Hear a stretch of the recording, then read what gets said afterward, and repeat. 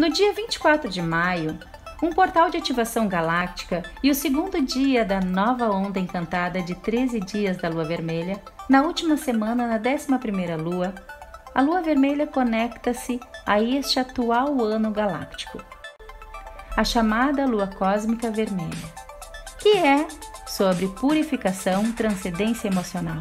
Cósmica é o tom 13. O Sol, arquétipo pai masculino, e a Lua, arquétipo mãe feminino o aumento da atividade solar ainda está sendo sentido. Esses portais de ativação galáctica ajudam a integrar o tempo cósmico com o tempo linear. O Drawing Stat e o clareamento astral podem ser mais ativos, e por isso, se o seu corpo estiver dizendo preciso dormir ou descansar, ouçam.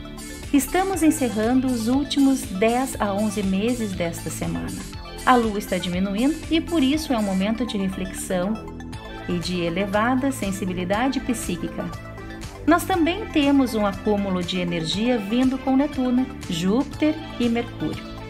Em 23 de maio e 24 de 27 de maio, após os portais de ativação galáctica, até a lua nova em Gêmeos, que será no próximo dia 3 de junho o desejo de mudança será forte, principalmente sentindo internamente devido às fases da lua.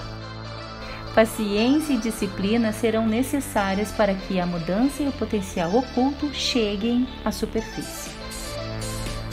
A próxima onda será atingida quando o ciclo da 12ª lua começar, por volta do dia 30 de maio.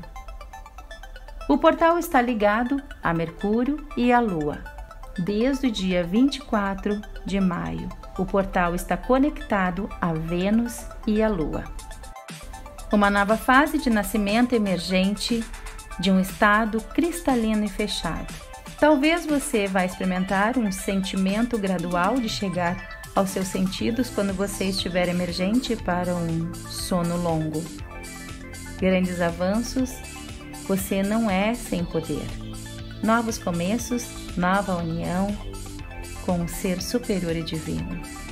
Gratidão por assistir esse vídeo e se você gostou, inscreva-se no canal, clique no sininho para receber notificações de novos vídeos, contribua com a nossa comunidade deixando seu comentário ou a sua sugestão de algum tema que você quer assistir aqui no canal. É muito importante para o crescimento do canal.